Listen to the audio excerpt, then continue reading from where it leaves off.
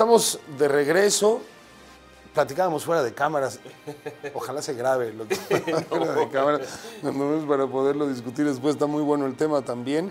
Eh, discutíamos si nos habíamos salido de, de tema o no. Nos salimos del tema del debate, pero no nos salimos de contexto. A final de cuentas, lo que estamos haciendo, como decíamos, es la lectura entre líneas. ¿Qué, qué, cuál es la interpretación o el diagnóstico de las posturas, de, de, de, todo el, de todo el lenguaje no verbal, si quisiéramos verlo de esa manera, porque dijeron mucho más con sus posturas que con, sus, que con sus, exactamente, ¿no? con sus gestos, que con todo lo que dijeron en sus discursos. Los discursos lamentablemente se notaba demasiado y yo creo que esa pesa mucho. Su, su, su, su apertura fue, don Alfredo, el, precisamente cómo, cómo ellos iban preparados ya con algo prefabricado, nada más a decirlo, y que pudieron haber puesto, después dijo don, don Delfino, en distintos momentos del día, y hubieran dicho lo mismo, hubiera sido exactamente la misma cosa, ¿no? pero yo creo, y me parece que es algo correcto mencionarlo ya hacia el final, el caso de Pepe Toño debe ser en este momento separado del de los demás en un debate, porque él es el candidato de la expresión política que gobierna actualmente. Entonces es una cuestión de memoria inmediata, digamos. Difícilmente se pueden hacer ataques o acusaciones cuando cualquier cosa que esté mal en el Estado, hacia el final de un sexenio, va a ser muy fácil echarle la culpa al gobierno actual, no al rezago histórico ni de gobiernos priistas antes del de Gavino, sino qué hizo o dejó de hacer Gavino, que además al momento de elegir va a pesar al recordar que viene representado por Pepe Toño en las urnas. Sí, es que son los dos puntos negativos, tanto del gobierno federal como del estatal, ¿no? de Murad y de Estefan Garfias, ¿no? Llevan los puntos negativos, claro. una de lo mal que está el país, uno, y de lo mal que esté el Estado, el otro. Pero también ellos dos, y como decía Delfino, pues son los dos Ahí únicos está el posibles, gobernador, no, ¿no? por otra Claro, cosa, ellos está sino claro. porque son los que tienen el dinero. Y ahora sí, Pero le va a alcanzar el voto duro al PRI. Yo creo que esa era la pregunta. No, no, es Esta vez ya las grietas ya, ya generaron una ruptura real. Sí, sí. Ya se va a filtrar el- el- este voto gremial tan, tan enganchado que ha tenido el PRI históricamente en Oaxaca, el voto corporativo. ¿Está debilitado? ¿Realmente no, no. ejercerán un voto individual los ciudadanos, los miembros de estos gremios que han sido la red de seguridad del PRI por tantos años? Sí, eh, seguro que, que, vamos, es una gran problemática para el PRI, la situación del país y por ende todos los negativos que lleva el candidato. Igual está Pepe Toño, pero como digo, es una competencia económica. ¿Por qué pragmáticamente, tú lo decías? Hablando realmente, en pragmatismo periodístico, son los dos únicos que pueden ganar, entre ellos está la elección. Ahora, ¿quién va a ganar? Bueno, una elección se gana con dinero. Me acuerdo mucho, me acuerdo mucho, digo, lo que dijo Napoleón, ¿no? Un día entrevistan a Napoleón y le dicen, oiga, ¿qué se necesita para una, para una guerra?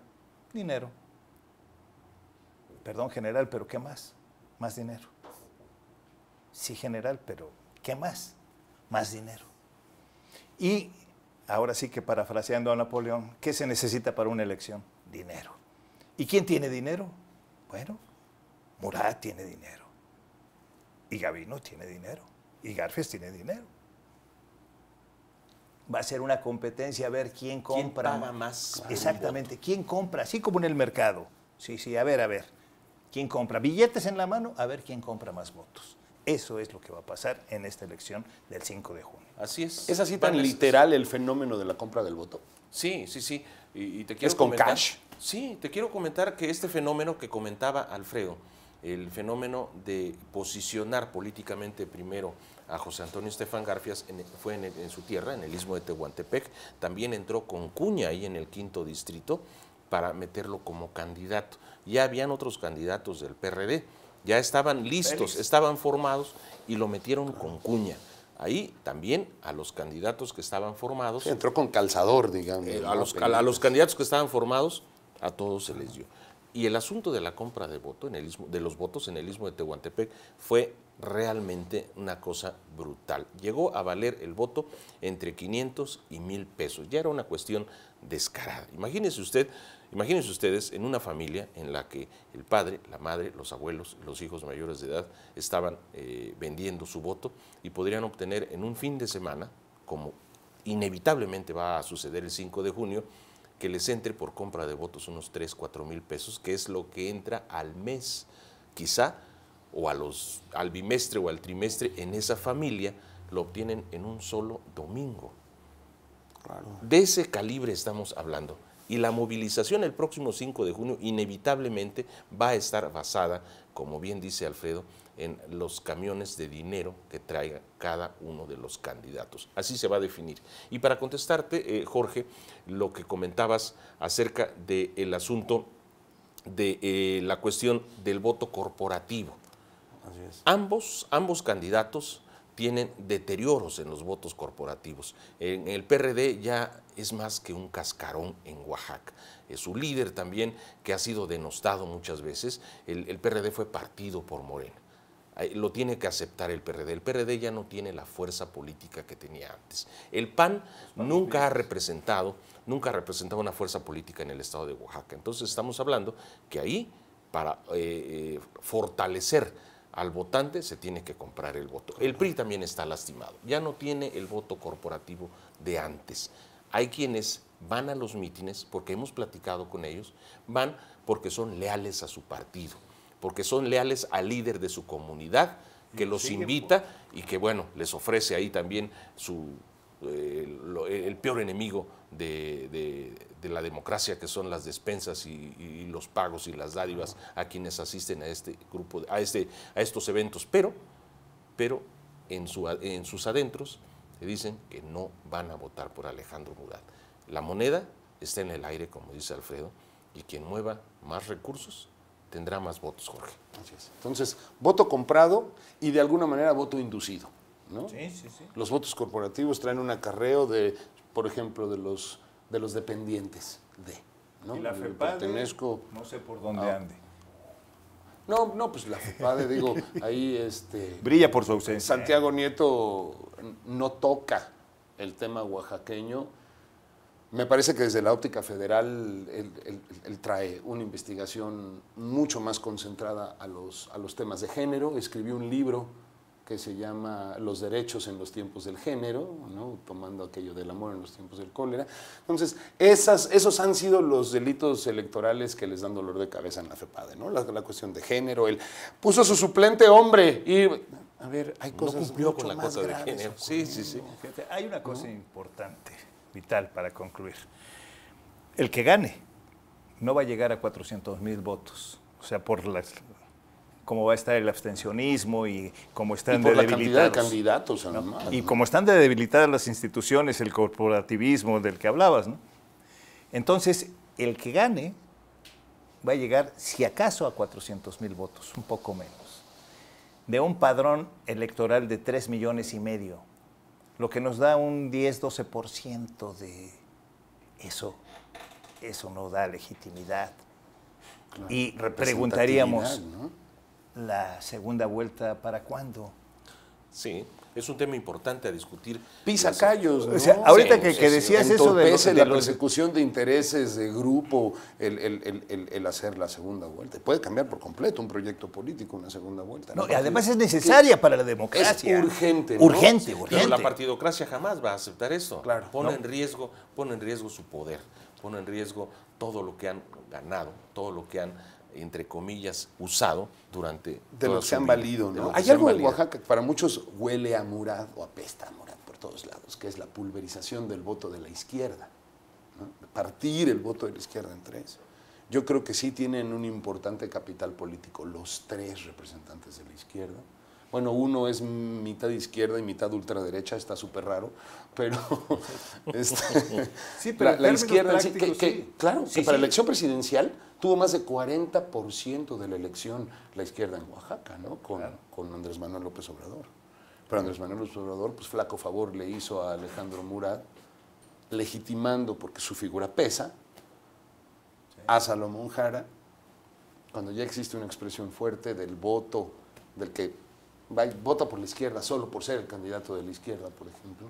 Pero ahora tienes tres expresiones. Tienes a un tercero, tienes a Benjamín Robles Montoya, que recorrió el estado de norte a sur y de este a oeste y le dio seis vueltas ¿no? en estos años, que por supuesto que también acumuló capital político. Yo creo que ese 16%. va a ser Sí. un factor determinante en un potencial y un virtual triunfo de Alejandro Murat si el voto indeciso no se encamina y coincidiera en una sola de las tres expresiones. Sí, sí. De estamos, izquierda. estamos a 14 días y, y siendo pragmáticos, como lo hemos sido en todo el programa, hay un 16% que, que va a votar por Benjamín. Punto. ¿Cuántos van a votar por, este, por Morena, por Jara? Bueno, vamos a ver a, a cuánto le, le- le sirve la imagen del peje, pero no va a estar menos de un 17, 18%. Sumados los dos nos dan treinta y tantos por ciento. Aguas, ¿eh? Ya es un tercio. Que Es un tercio, sí, sí, sí. Sí. ¿No? Y entonces, bueno, lo demás es a voto comprado. Pero lo que es peor, y lo dijimos hace un, hace un rato, el que gane es un gobernante ilegítimo, aunque haya comprado eh, lo que sea, va a ser un gobernante ilegítimo con un 12% de la votación máximo.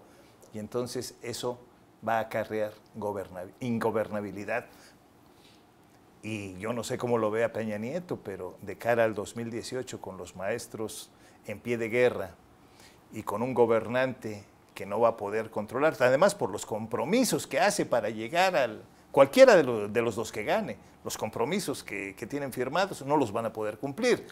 ¿no? Y entonces vamos a tener un Oaxaca incendiado de cara al 2018, que quién sabe cuánto le vaya a ser útil al presidente de la República. Ojalá nos estemos equivocando. Ojalá. Ese, ojalá. ese sería nuestro deseo. Ojalá. Que nos estuviéramos equivocando y que las cosas no fueran así. Pero por lo que hemos vivido a, a lo largo de estos últimos sexenios en, en Oaxaca, como bien dices, el voto de la izquierda está pulverizado.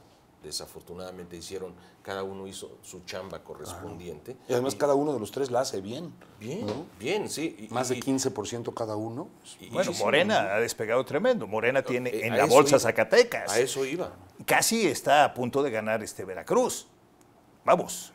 Y nuevamente figuras legitimadas por el peso político de Andrés Manuel. Sí, Claro, y, nos gusta, y nos gusta o no, analistas no solamente nacionales, internacionales, debido a la campaña de hace 18 años que lleva Andrés Manuel López Obrador, en este momento le está redituando y sí está poniendo a pensar, a- sobre todo a nuestro vecino del norte, porque algunos analistas eh, norteamericanos están viendo en la figura de López Obrador que si fueran las elecciones en este momento o el próximo año, el candidato o la candidatura de Andrés Manuel López Obrador podría ganar la presidencia de la República, lo cual pone en una situación muy especial al gobierno de los Estados Unidos que nunca ha visto con buenos ojos, bueno, a muchos mexicanos también, nunca han visto con buenos ojos a Andrés Manuel López Obrador, pero hizo su chamba aquí en Oaxaca y sí Morena también, esto que le estoy comentando a nivel nacional, también se ve a nivel local. Morena, poco a poco, poco a poco a lo largo de esta campaña, porque están haciendo una campaña de tocar puerta por puerta y están tocando las fibras sensibles de la población. Le están diciendo lo que le duele, por dónde le están llegando a la población. Y Morena está pian pianito, pian pianito está caminando y posiblemente le brinca a Benjamín en un tercer lugar. Y hablando en, en votación general, yo también coincido con Alfredo, es difícil que se llegue a la votación del 2010, que fue del casi del 50%, 50 y, y fracción. 57. Sí, del, del 57%. 57%. Seguro. Difícilmente se va a volver No. a lograr esa votación, menos con todas las circunstancias que estamos hablando. Jorge. No se va a llegar. Si, si llegamos a un 30% del padrón electoral, yo creo que estaremos hablando de la elección del próximo 5 de junio. Y mientras sean así los candidatos que se imponen, a final de cuentas el voto va a continuar perdiendo prestigio, va a dejar de ser una figura confiable para los ciudadanos. Es ¿Votar para qué? ¿Entre quiénes tengo que votar o entre quiénes me dan a elegir? Sí, la dictadura de partidos. Pero bueno, Claro. tenemos que despedirnos. Sé que los tres nos quedamos con muchísimo que decir, pero, pero creo que se abarcó lo suficiente para haber dispuesto solamente de cuatro bloques de 12 minutos. Así que, Claro. Delfino, don Alfredo, muchísimas gracias a los dos por sus contribuciones, muchísimas gracias por estar aquí y desde luego esto se tiene que volver a hacer antes de la elección y se tiene que volver a hacer poquito después de la elección también, porque esta plática se puso muy buena, estoy seguro que la gente en casa también lo disfrutó. Y bueno, nuevamente de parte de los dos, pues bienvenido. Y, y las puertas están abiertas para una segunda vuelta a esta conversación. Muchísimas gracias, Jorge. Muchísimas gracias. Buenas noches. Amigos del público, muchísimas gracias por su confianza. Ojalá esta conversación haya contribuido a, a traer nuevas ideas a todo lo que van a tener que poner sobre la mesa, cada- lo que vamos a tener que poner sobre la mesa cada uno de nosotros como electores para tomar la mejor decisión para Oaxaca. Nos vemos pronto.